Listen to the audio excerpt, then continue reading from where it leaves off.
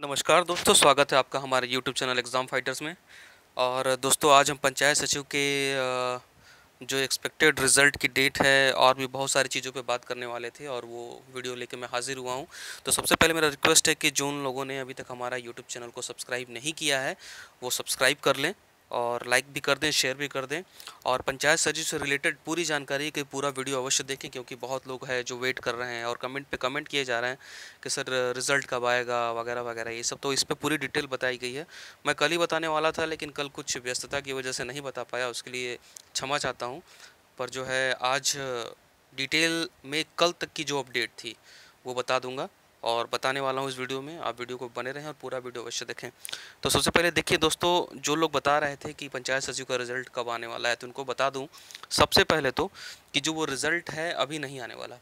Result नहीं आने वाला मतलब रिज़ल्ट कब आएगा? तो रिज़ल्ट जो है, इस मंथ के लास्ट में एक्सपेक्टेड है। इस मंथ के लास्ट में। आप बहुत ज़्यादा बहुत ज़्यादा मतलब रिज़ल्ट को लेके ईगर ना रहें। रिज़ल्ट जो है 20-25 के बाद ही आएगा, उसके पहले नहीं आएगा। इस मंथ के लास्ट तक ही आने की संभावना है। उसका कारण बहुत सारे हैं। कारण सबसे पहले तो जेएसएससी कोई भी काम करेगी तो वो बहुत फूक फूक के कदम रखेगी रिज़ल्ट को लेके, इसलिए कि जेएसएससी के इस एग्ज़ाम में नॉर्मलाइजेशन भी है। तो नॉर्मलाइजेशन पे काफ़ी फूक फूक के कदम रखेगी और जेएसएससी अपना काम हमेशा परफेक्शन से करती है। इस वजह से वो कोशिश करेगी कि इस पर कोई विवाद ना हो। दूसरा, ये एक लेटर मैं आपको दिखा रहा हूँ, ये देखिए एक लेटर है। ये लेटर जो है, इसका एग्ज़ाम तीन जुलाई को हुआ था और सेंटर था साई इन्फोटेक था, ये मैं दिखाने वाला हूँ आपको। ये ये देखिए, ये 105 Shri Sai infotech Kaushalya complex, opposite Durga मंदिर बीआईटी मिश्रा, रांची। तो इस पर क्या हुआ था कि लड़कों ने कंप्लेन की थी, उनका जो है सॉफ्टवेयर प्रॉपर वर्क नहीं कर रहा था और उससे संबंधित ये लेटर है, ये देख लीजिए। सेवा में जेएसएससी परीक्षा नियंत्रक नामकुम रांची सॉफ्टवेयर में गड़बड़ी के कारण और सर्वर में गड़बड़ी की और कीबोर्ड की गड़बड़ी। महाशय, ये आगे देखिए, इसमें सारा डिटेल में दिया हुआ है। और आपका जो काम का है, वो ये है, देखिए, दो बजे की सीपीटी ये देखिए। ये, दो बजे की सीपीटी के परीक्षा में कई प्रकार की गड़बड़ी आई। पर कुछ ने परीक्षा को इसके बारे में भी कुछ ठीक से नहीं बताया।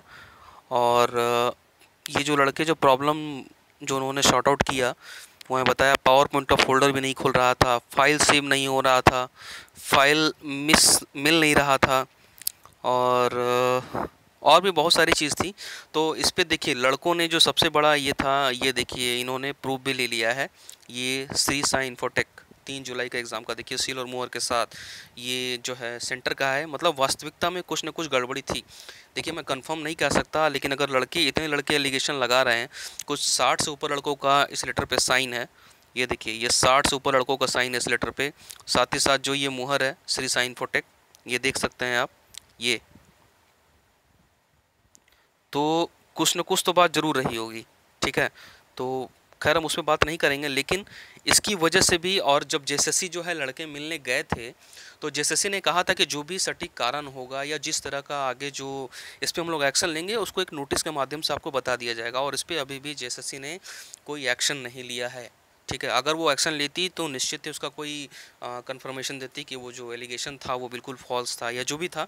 ठीक है तो एक कारण ये भी है कि जो कुल मिला के बस सीधा सीधी मैं आपको तौर पे बताऊँ तो जेएसएससी कोई भी स्टेप बहुत ही फूक फूक के ले रही है और ये बहुत अच्छी बात है। रिज़ल्ट थोड़ा सा दे रहा है पर दुरुस्त है ताकि आप लोग बाद में एलिगेशन ना लगाएँ और ना ही कोर्ट कचहरी का चक्कर हो। तो ये एक बहुत अच्छी बात है जेएसएससी के द्वारा एक वेलकम स्टेप कह सकते हैं जो भी आ, मतलब जो आगे फर्दर प्रोसेस हो वो एक वेरीफाइड प्रोसेस हो पूरी तरह से एररलेस बिल्कुल ठीक है। तो यही जो मेन दिक्कत था आप रिज़ल्ट का भी वेट ना करें और रिज़ल्ट का वेट अभी फ़िलहाल तो ना ही करें, कम से कम 20 दिन 15 से 20 दिन तो लगेगा ही, मिनिमम 20 दिन, और भी जैसे भी अपडेट होगी आगे दे हम आपको दे देंगे, लेकिन फ़िलहाल रिज़ल्ट नहीं आने वाला है, मैं आपको ये बता दूँ। और कारण का एक है जो आपको बता दिया, नॉर्मलाइजेशन, और जो एक सबसे बड़ा कारण था ये लेटर, जिसमें ये साफ़ साफ़ मेंशन है, इसमें साफ़ साफ़ ये मेंशन है कि जो परीक्षा सर्वर में गड़बड़ी हुई थी और इस चीज़ को एक्सेप्ट भी किया है सत्य साई इन्फोटेक के एग्जामिनेशन कंट्रोलर ने, ठीक है? और ये देखिए उन्होंने अपना मुहर भी दिया है, ये ये देखिए तो ये एक बहुत बड़ा प्रूफ है बच्चों के पास, ठीक है? तो हालाँकि इस चीज़ को परीक्षा नियंत्रण ने एक्सेप्ट नहीं किया, गड़बड़ी थी, लेकिन जब लड़कों की डिमांड थी तो ये उन्होंने दिया। जेएसएससी ऑफ़िस में जाके ये जो है ज्ञापन दिया है और जैसे ने उस पर बोला भी है कि हम एक्शन लेंगे। तो ये कारण भी हो सकता है रिज़ल्ट लेट होने का, लेकिन फ़िलहाल आपको बता दूँ रिज़ल्ट नहीं आने वाला है, आप बहुत ज़्यादा वेट ना करें। और रिज़ल्ट का जब रिज़ल्ट आएगा, अपने तरीके से आएगा और अपने समय से आएगा, और तब तक आप अपनी जो है जो भावनाओं को है कंट्रोल में करके रखें और जो कुछ लड़के कमेंट कर रहे हैं कि हर एक घंटा जो है बहुत भारी पड़ रहा है तो भारी पड़ने ही वाला है नो डाउट अगर आपने अच्छा एग्ज़ाम दिया, अगर आपका पेपर अच्छा हुआ है तो नो डाउट आपका सिलेक्शन होगा। और कट ऑफ़ की जहाँ तक बात करूँ, बहुत सारे लड़कों ने बताया कि, सर, इसका कट ऑफ़ भी बता दीजिए। तो मैं बता दूँ कट ऑफ़ पर मैं बिल्कुल बात ही नहीं करूँगा, क्योंकि कट ऑफ़ जो है नॉर्मलाइजेशन का इफ़ेक्ट बहुत ज़्यादा पड़ने वाला है। नॉर्मलाइजेशन में कटीफ कट ऑफ़ का जो है सटीक अंदाज़ा लगाना बहुत ही मुश्किल है। बहुत ही मुश्किल है, लेकिन मैं एक मोटा मोटी बता दूँ कि लड़कियों में जो कैंडिडेट 410 के अराउंड हैं 410 के अराउंड हैं लड़कियों में, वो अपना सलेक्शन पक्का माने। जो लड़कियाँ, गर्ल्स कैंडिडेट 410 के आसपास हैं, वो अपना सिलेक्शन पक्का माने, ठीक है? बाकी बॉयज़ के लिए मैं कोशिश करूँगा कि एक सेपरेट वीडियो बना दूँ, लेकिन उम्मीद कमी रखिएगा, क्योंकि नॉर्मलाइजेशन में कुछ भी कहना मुश्किल है। तो जो आज की पंचायत सचिव के रिज़ल्ट से अपडेटेड थी, जो अपडेट थी मैंने आपको दे दिया और आगे जो है सीजीएल का आपको अपडेट दूँगा कि सीजीएल का बहुत सारे लोग वेट कर रहे हैं कि सी आने वाला है। तो बता दो दोस्त इस महीने तो नहीं आने वाला। उसमें सब कुछ क्लियर है बस दो मामले जो बहुत ही आ, कह सकते हैं बहुत ही कठिन फैसले लेने हैं सरकार को। आ, उसके बारे में हम बात नहीं कर सकते यहाँ पे उसको एक लिमिटेशन है।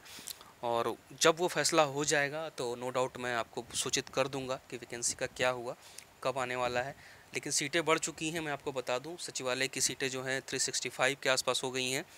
और मैंने आपको चार्ट भी दिया था उसका, सीटों का डिटेल का।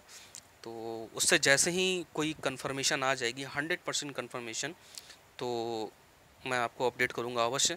और उस पर सरकार और कार्मिक और जैसे कोशिश कर रही है कि अगर उसका विज्ञापन आए सी का तो वो एररलेस आए, ऐसा ना हो कि फिर वो भर्तियाँ कोर्ट के चक्कर में फंस जाए। ठीक है तो आज के लिए इतना ही दोस्त, आगे कोई भी अपडेट होगी तो आपको अपने वीडियो के माध्यम से अवश्य सूचित करूँगा। जय हिंद जय भारत।